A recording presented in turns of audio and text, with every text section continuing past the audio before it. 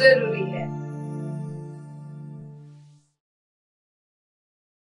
नमस्कार, मैं अभिषेक Dubey MNS news में आप सभी का स्वागत करता हूँ। आइए देखते हैं आज की कुछ खास खबरें। बैंक ऑफ़ इंडिया में कुछ तो गड़बड़ है। विशेष संवाददाता घनश्याम मेहता की खास खबर। अर्जुनी मोरगांव के बैंक ऑफ़ इंडिया में तारीख 15 मार्च 2022 शनिवार को। Arjuni Morgaon bank of India की शाखा में 15 दिन बीत जाने के बाद भी व्यवस्थापक ने आकर कार्यभार नहीं संभाला है। ज्ञात है कि 31 मार्च की शाम को तत्कालीन व्यवस्थापक मिस्टर वांगखेड़े को ट्रांसफ़र का ऑर्डर मिला था।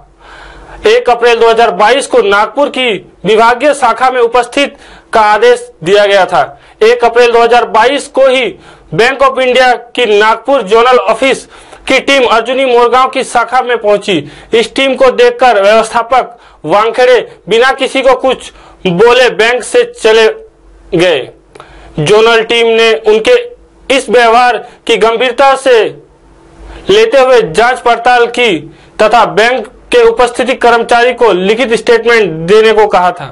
अर्जुनी मोर मोरगांव के बैंक ऑफ़ इंडिया में तारीख 15 मार्च 2022 शनिवार को Arjuni Mor Morgaon bank of India की शाखा में 15 दिन बीत जाने के बाद भी व्यवस्थापक ने आकर कार्यभार नहीं संभाला है। ज्ञातव्य है कि 31 मार्च की शाम को तत्कालीन व्यवस्थापक मिस्टर वानखेड़े को ट्रांसफ़र का ऑर्डर मिला था। साथ ही 1 अप्रैल 2022 को नागपुर की विभागीय शाखा में उपस्थिति का आदेश दिया गया था। 1 अप्रैल 2022 को ही बैंक ऑफ़ इंडिया की नागपुर जोनल ऑफ़िस की टीम अर्जुनी मोरगांव की शाखा में पहुँची। इस टीम को देखकर व्यवस्थापक बानखेड़े बिना किसी को कुछ बोले बैंक से चलते बने।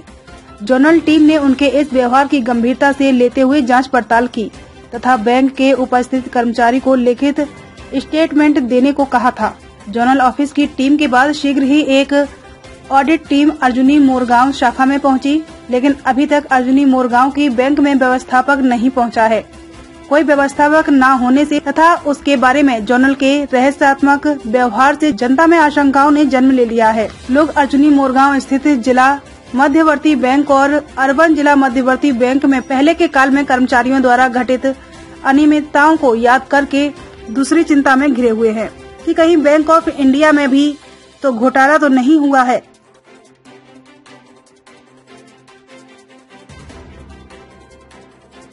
इसी साथ खास खबरों का यही विराम देते। नमस्कार